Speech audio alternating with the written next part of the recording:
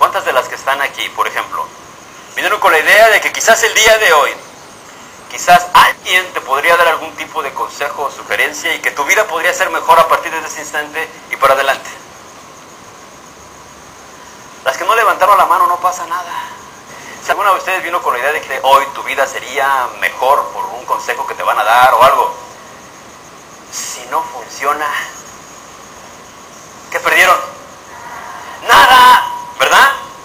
¿Qué es lo peor que puede pasar? Nada, es exactamente como el cirujano que dice que iba caminando por la calle, tenía la idea de hacer una operación, finalmente que él estaba, este, él era el precursor de esta operación, para regresarle la vista a un cieguito. Y dice, pero necesito un conejillo de indias, ¿dónde lo encuentro? Y ve a un cieguito. Le dice, oye, ven.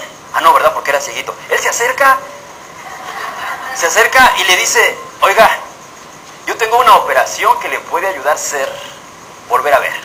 Y le dice el cieguito, pero no tengo dinero. No pasa nada. Yo necesito a alguien que me ayude a probar esta operación y quiero probarla con usted. No le voy a cobrar nada.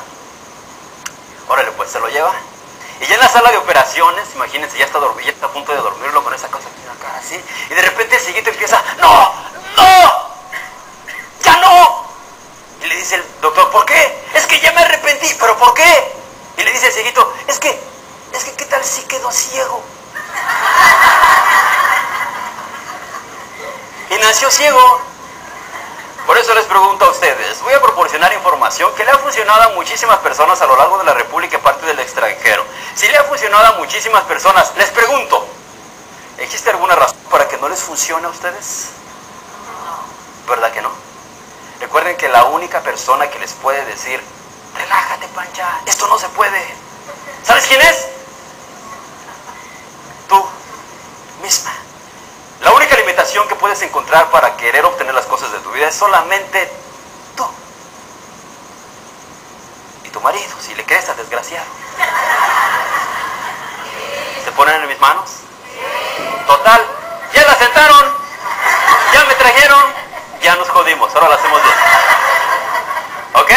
Y vamos a comenzar con una simple pregunta. Yo les pregunto, un voluntario, ¿quién eres? ¿Algún voluntario? Voluntaria, ¿quién eres? Betty. Ok, ¿quién eres?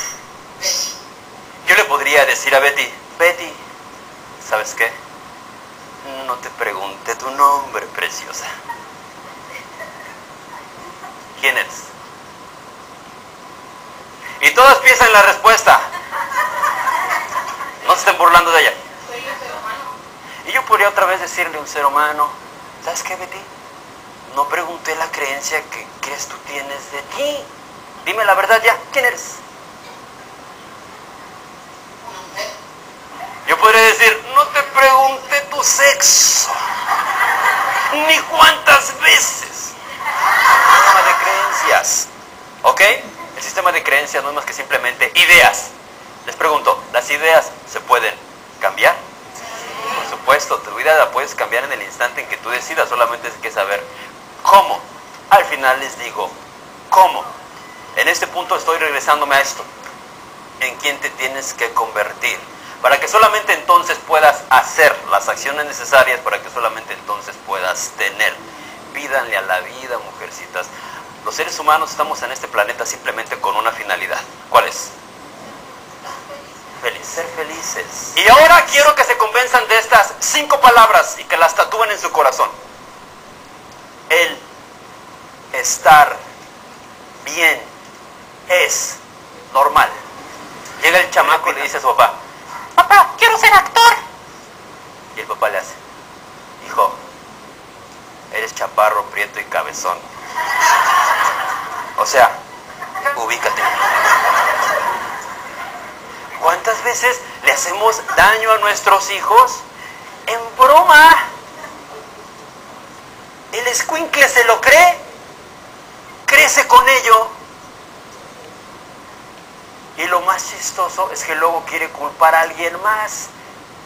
Cuando tú fuiste el único que decidió cómo sentirte ante ello.